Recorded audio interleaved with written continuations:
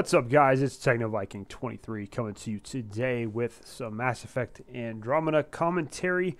And I wanted to talk and give my reactions about the uh, recent trailer we got uh, that actually has some gameplay from Mass Effect Andromeda. Uh, we got a nice look at a lot of the features the game is going to have. I have some mixed reactions about it. It confirmed a few of my fears about the game, but there's also some things to hopefully be hopeful for. Uh, but we'll just get right into it. So, uh, the new trailer's out. It shows some gameplay, uh, combat especially. Shows driving around in the Nomad. It shows landing on a planet. It does show a very brief cutscene, uh, which is kind of worrisome in a way because it's really hilarious how Mass Effect has been around for a while, like eight or nine years at this point. And one of the big complaints that we always had with the original Mass Effect games was how they just didn't seem to get the facial expressions or the animations right in the cutscenes. Um, and it, this is really obvious and really bad, even in this initial um, gameplay that's shown. Is the facial animations in the cutscenes are just terrible. Um, they don't look realistic at all. Uh, they look actually a little bit worse than Mass Effect 3, in my opinion. And I hope they get this cleaned up before the actual game comes out. Because if this game releases and that's what we have, I think it's just going to be awful. Um, another thing I noticed is the character movement uh, seemed to be a little bit choppier than it did in the original 4K gameplay trailer that they showed us, where the uh, Ryder was exploring the vault with the um, and his other teammates. Uh, hopefully, that's something else they'll get worked on. They still have a couple months to take care of a few things. We got an image of some of the conversation wheels and the interrupt options that you have. Of course, they've gotten rid of the Paragon Renegade system now, so you're just going to be able to talk to people. Um, the conversations are going to have some kind of influencer rating system. And quite honestly, it seems a little bit more like Dragon Age Inquisition, which was one of my big fears, uh, where you have the conversations with people and you're just building up more reputation. There's a scanning system now where you can search for things around you. You have to find resources on the planets, you have to explore them, find things to help you on your journey.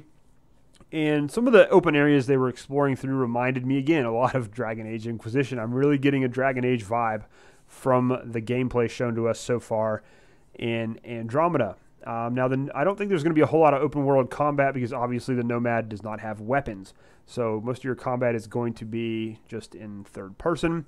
And watching the gameplay in the combat, uh, you do get to spam a lot of different powers. It seems like you have a lot of different weapons and movement abilities. And as they said, you're going to be able to choose from a pretty wide pool of abilities for your character rather than just focusing on one class as you could in the other games.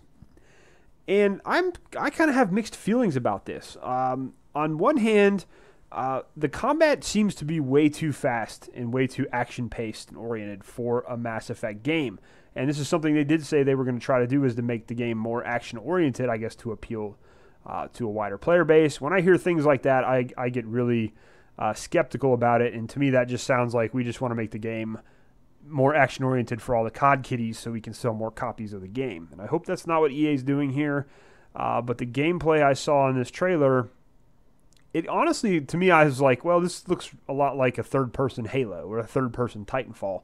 It really didn't feel at all like a Mass Effect game to me. And I'm sure some people probably are going to welcome that. They didn't, didn't like the flow of combat in the other Mass Effect games. Um, but I'm not as big a fan. Um, I'll just be honest. I'm kind of skeptical about this. I, I, you know, I don't think you should play like Warframe or like Halo and just be this crazy fast-paced shooter. I, the thing that always made Mass Effect appealing was sort of the RPG feel to it, the story based around it, and everything. So I really hope they're not going to lose that when this game comes out.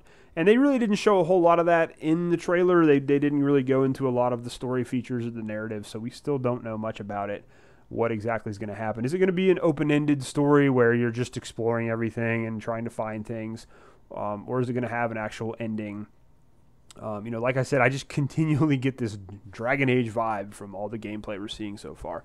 Um, but the game, quite honestly, does look really impressive. It, it, the way the way they were able to get the smooth flow to it, the graphics look really good so far, um, and they still have a, quite a bit of time to further polish the game uh, we'll see what happens. Um, but overall, like I said, I'm not. I'm still skeptical. Still very skeptical about how this is going to turn out. I think the combat will work well for the multiplayer, uh, which I'd like. It's funny. I'm actually more excited for the Andromeda multiplayer than I am for the actual game itself because I think the improvements they're making to multiplayer are going to be really good. If they can basically capitalize on Mass Effect um, three's multiplayer, make it make it more improved, I think it'll be really good. Um, but like I said, just a lot of the movement system, a lot of the, the layouts uh, of everything I'm seeing, it just screams Dragon Age. And it's even the multi, even the movement system looked a little like some of the multiplayer stuff in Dragon Age Inquisition. And I really, really hope that's not how it turned out. Uh, I wanted to address a few other things I saw in this trailer. One of my first thoughts was we're seeing a lot of council races uh, initially in the gameplay. And uh, actually, when you start out, you do get to see a female. You have a female Turian companion, which is pretty cool because I, I actually liked uh, Nyreen was one of my favorite characters in Mass Effect 3, who's a, a female Turian you can use in the um, Omega DLC. Um, but that's pretty cool. There's a Krogan also. We, we did get to see quite a few Turians in that initial um, cutscene that they showed us. Uh, but one question in my mind when I saw that was why are there so many council races in Andromeda when obviously we haven't populated that that that galaxy. It's a brand new galaxy. But then I realized going back and listening to the dialogue, um, the first settlement that they land at there, they're actually those people were kicked off of the Nexus, which is like the big control ship that goes with the Ark. So those people apparently didn't agree with what was going on. They got kicked off the ship. They got left behind on a planet. Basically, were able to set up their own colony there. Um, and it kind of had sort of an Omega type feel to it, like just sort of this place where you know um, the lawlessness rules and things. So very interesting to see that aspect of it. But I really didn't see too many new alien races in this trailer, and that's uh, that's kind of alarming because if we go to Andromeda and you're constantly fighting against uh, groups like Cerberus, you know, if they're hum- human groups, or if you're fighting against rogue groups of Turians and Krogan and things like that, which we saw in the cutscene there, that's going to get really immersion breaking to me. Um, this is Andromeda. It's a new galaxy. There should be a ton of new alien races that you have to fight against. There should be at least four or five new species, um, in addition to the Kett, which we saw um, a little bit ago, that you're going to have to go up against. And if you're constantly fighting against these council type races, um, I, I, don't know. I don't think that's going to work very well. Um, but at the same time, I do hope we see you know Quarians and, and Salarians and things, and you have enough. Obviously, you're going to have some of those in your crew. I would expect it to be very similar to um, the crew you had in, in the other Mass Effect games. Uh, the voice acting talent also doesn't seem to be up to snuff as the other Mass Effect games, and that's going to be kind of hard to to do anyways because the first three games had such an amazing voice acting cast. So we'll see how that works.